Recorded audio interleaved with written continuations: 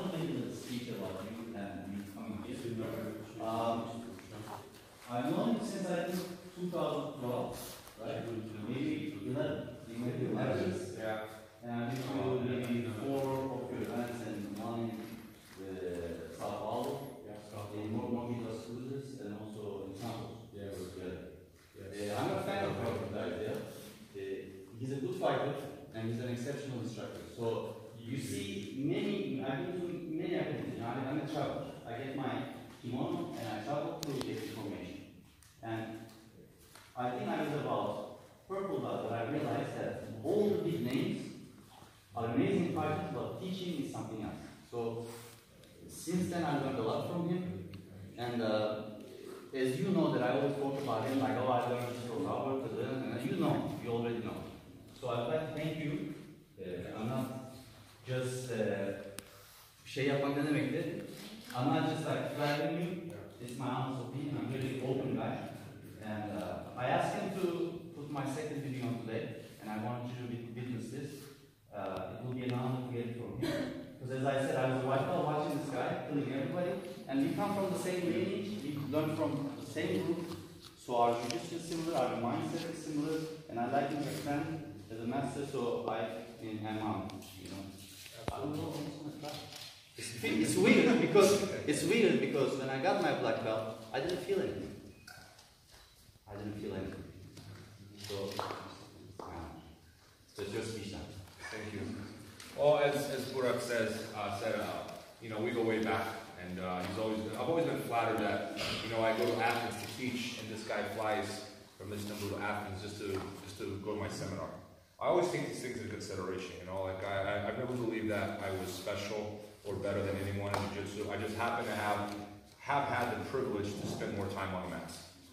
That's it. That's what it comes down to. I'm privileged enough to spend a lot of time on the mats when most people were working, they had normal jobs, and I was training jiu-jitsu full time. That, that's what it comes down to. So uh, when, when I see things like this, someone making an effort to learn from me, I'm very flattered, I'm very honored, and I don't take it for granted. I understand a lot of you guys, you know, maybe you left families at home, work, um, just to be here. You know, you're excited, you know, maybe you're, you're happy to learn from me. I don't take that for granted. I'm very flattered. So I've always liked Burak because I've always seen that attitude in him. Always had the right attitude, uh, very humble one. And and I admire him in another way because he's a pioneer of the sport in Turkey. He's the one laying the foundation for future generations. And it's difficult for a new generation to appreciate the work that goes on before them. You know, I see this from lot from my students, for example. They they're standing on the shoulders of giants and they have no idea. And they think it's them. I did. You know, like no, there's there's a platform below you. And that platform has another platform that has another platform, which is why history is so important. So remember who our platforms are. You know, we don't forget that. What Burak is doing here in Turkey, and you know, and, and to some extent in Asia, I know he goes to Azerbaijan a lot too, is, is creating a platform for future generations. Whether, you know, 50 years from now, people are going to remember him and appreciate it or not, that's a different story. But at the end of the day, he will have created that platform so hundreds of thousands of other people in this region can train Jiu-Jitsu. And that's exceptional. It's a very difficult thing to do. You know, I, I was, when I started Jiu-Jitsu, I was already standing on the shoulders of giants. Because I was already training Jiu-Jitsu at a time when Brazil had not a lot of black belts, but there were black belts around. Right? And later I moved to the United States to train, and there were few black belts, but they existed. There were tournaments. You know, they, that the ball was already in motion. So I, I feel I was very privileged because I started, I was in the right place, I was in Brazil. And later in life, I was in the right place again. Because once the focus of Jiu-Jitsu, the Mecca, changed from Brazil to the United States, I was there too.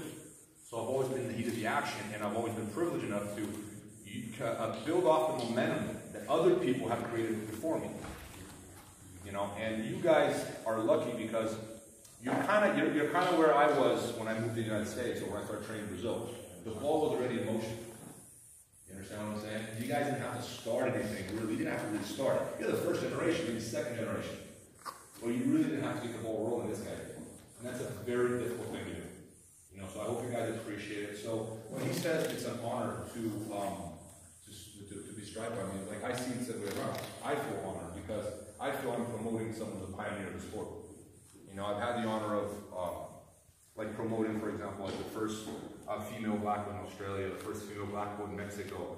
And I've had these honors here and there, you know, like arguably the most successful female history of Jiu-Jitsu was promoted by me in every single belt. I've had these honors in my life. You know, and I look at these, like these things are historical because they're very significant. It's not, I'm not, I'm not giving myself a little pat in the back. I'm not bragging. It's, it's, it, really is historical. And I feel like if I can have that impact on Jiu-Jitsu and it's a positive impact, I'm the one who's honored. You know, so, um, yeah, but like it's not, there's no further delay. Uh, I really, I mean it when I say it. To me, Jiu-Jitsu goes well beyond just a technical art. It is a way of life. I know it's cliche, we say it all the time, but I take it very seriously. It's a huge part of my, part of my identity. So I take someone who gets promoted very seriously because I see an ambassador to the sport. I've made mistakes in the past and I've promoted people who I shouldn't have. I've, I've, uh, I've maybe, you know, done things that contradicted things I say when it comes to promotion. You know, I say, oh, I actually have to look at this, this, and that when I promote someone. And a few years later, I catch myself doing something that's not, you know, maybe in, in tune with what I believe a black belt should, should be and represent as an ambassador of the sport. But this is certainly not the case now.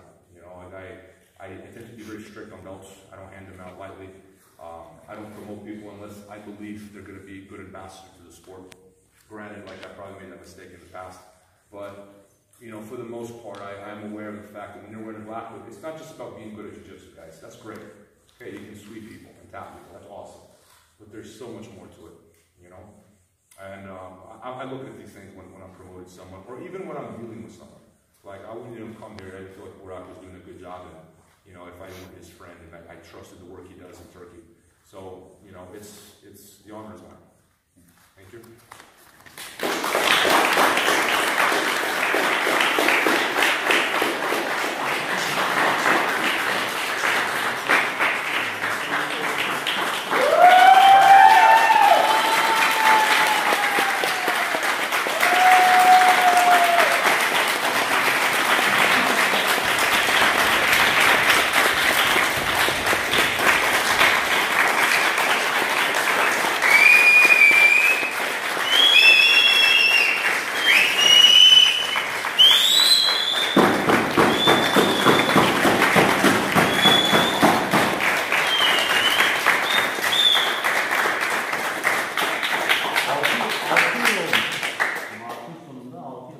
şu an. Zaman uçup gidiyor. Ama e, sadece benim için değil, sizin için de uçup gidiyor. E, bugün sadece benimle alakalı değil. It's not only about me today. Uh, time flies by, but it doesn't fly by for me only. It flies by for everyone. So, e, seninle başlayalım istersen.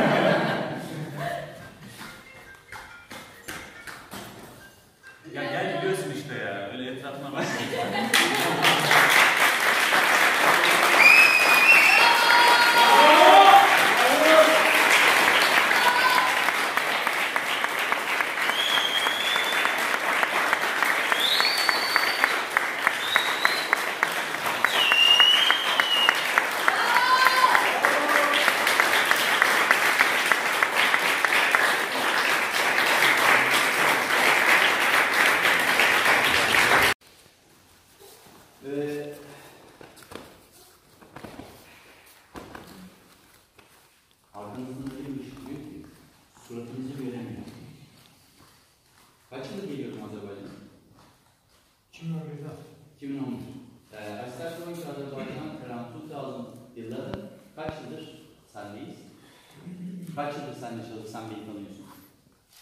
2010 yılında. 2010 yılında. Since 2000 da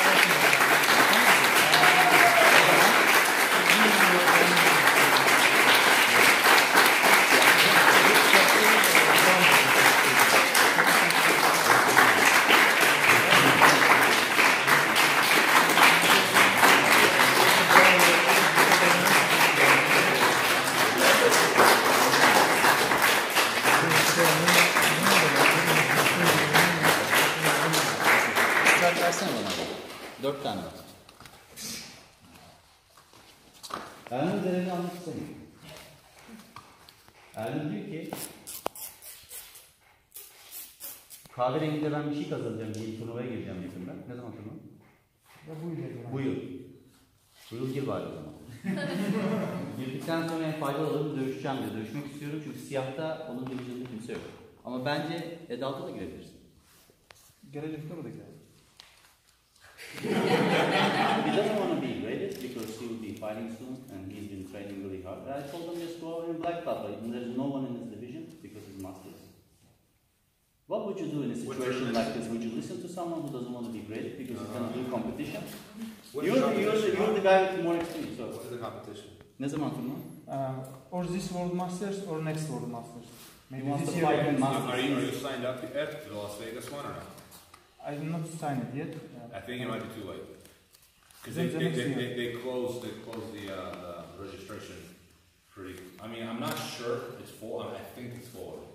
So you you you will be too late for that. Um, wait another year. That's your criteria there. Um, I see you go as a black If belt. he You'll, doesn't- you'll have fights as a black belt. I guarantee. you. In Masters World, 100 percent. You got. How old are you? Uh, 37. You're 37. Oh, for sure.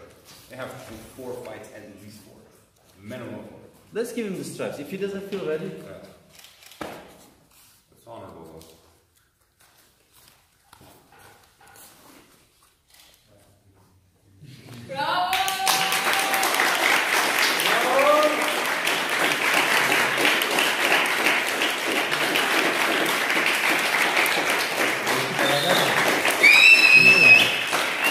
bu turnuvaya ben de gitmek istiyorum. Çünkü bir de benim orada ablam yaşıyor. Beraber gidelim. Last time, uh, last time we went to a competition with Almight in Absolute. I think he was in the guy's guard and he was losing by points. He submitted the guy with a loop choke from the gi. Uh, that's the time I promote. I usually don't like the promotion on the podium thing, but I did that because it was an expressive performance, and he uh, took all the requirements for the rating. But today he's asking, he wants to continue fighting in brown belt, and he said, I want to be bring more medals to the team, and I can't say no to that. So when you feel ready, you feel ready. If you don't, if you want to do more, it's fine.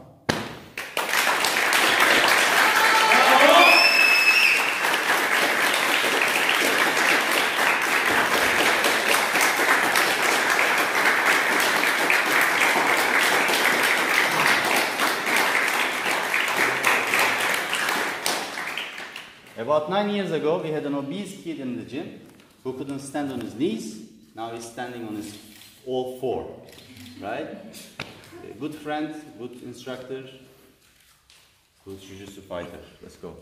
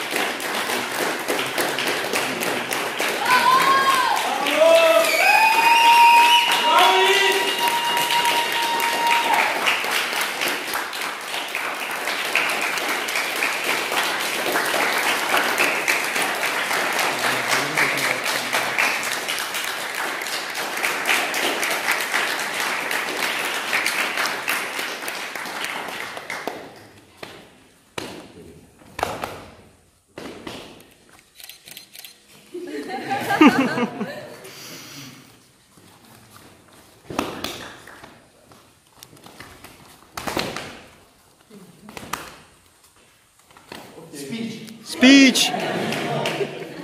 And you can.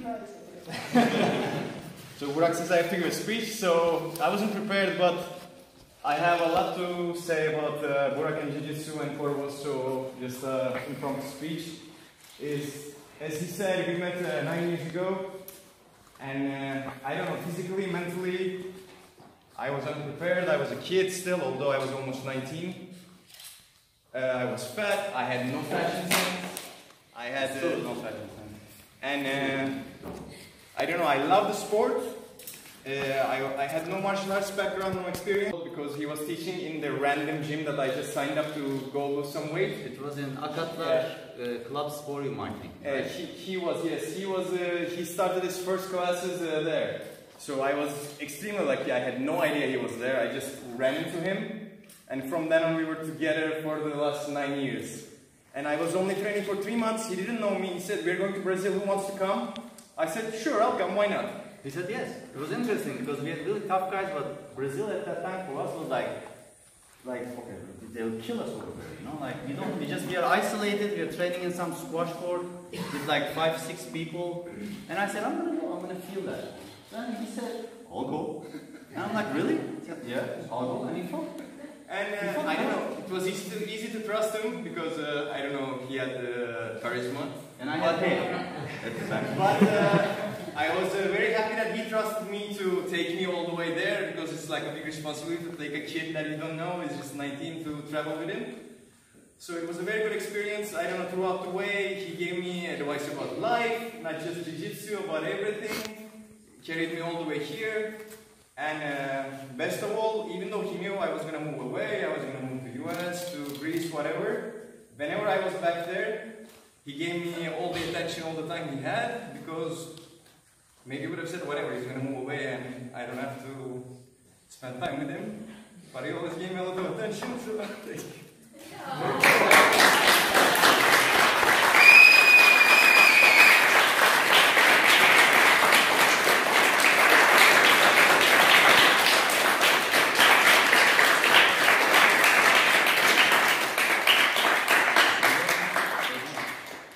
All right, guys. Well, congrats. Everyone got promoted.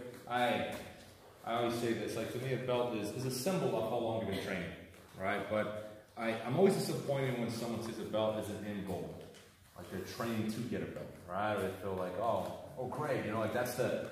I mean, it's nice. It's a good feeling, but you're never done. You know, that's how you gotta look at it. You know, you have to see yourself a beginner uh, your whole life, man. I call it the white belt mentality. You walk in the gym, your first class, you know you don't know anything, right? You, you accept that. You have that mentality where everyone in the room can teach you something, right? I, I, I ask my students and people around me in general to keep that mentality throughout their whole life, with everything they do, not just jiu-jitsu. You know, keep that white belt mentality. You're never done learning, right? And everyone around you can teach you something. And I try to, I make an effort to walk on, step on the mats every day with that attitude. Um, I think somewhere along the way, some of us like we go, we go up in ranks and we think, oh, you know, I know now. You know, I, I have this belt, I have these tournaments or whatever. You know, I, I, I know- more than everyone else here. Maybe you do, maybe you have more experience, but the second you lose that white belt mentality, that's to your own detriment. You know, you are missing out on infinite amount of lessons you could be learning. With everything you do and being around the right people, you will be learning those lessons. So those of you who got promoted, just remember that, guys. It's an awesome thing. It feels great. It is an achievement, but it ultimately is a symbol of how long you've been training. You're never done learning. And I know it's cliche to say, say this, but jiu-jitsu is one of those arts. Like the more you train, the less you know. You know, there's a moment there as a blue belt. I kind of think I, I had it. I it jiu-jitsu. but literally, I got it now. I really got jiu-jitsu down. All right, I got like three spider guard sweeps. True, that's what was going through my head in my own, you know, little, little personal delusion. But as you move on, as you go up the ranks, you, you, you, you learn that it is so complex. It's almost like almost depressing how complex jiu-jitsu is. Because no matter how much time and mental energy and physical energy you put into it, you never ever master everything. It doesn't matter how long you live. It's I, I, I used to have this argument with a friend of mine called. He was a chess master. And I tell him that jiu-jitsu is far more complex than chess. He get angry, but it is.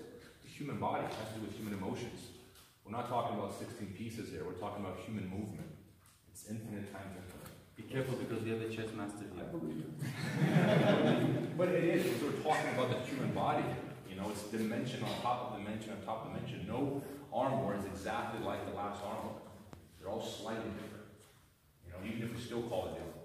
So, you know, to me, it's a, when it's something that's that rich, you know, you should really look at it with, with humble eyes and keep that attitude. Make sure you don't lose that attitude ever. You know, throughout your jiu-jitsu experience. Okay? Congratulations to everyone. Congratulations, to Burak. And let's do some, some, some football now. Let's do football.